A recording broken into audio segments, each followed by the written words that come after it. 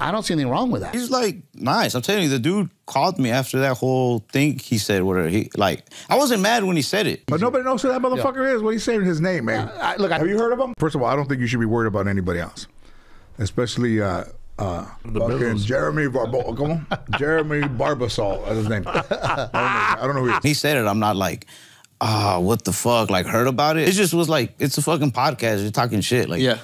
But yeah, he called me and he was like super cool. He's like, hey, Ralph, this, this is George, man, George Lopez. I was like, I wanted to call and apologize, but I didn't mean, I didn't mean to like talk badly about you or anything like that. Like, just kind of talking shit, you know? I don't think it had to be public at all. He was just like, he's like, comic to comic, man to man. He's like, I just want to apologize, man. Yeah. I think he's fucking great. He needs an opportunity.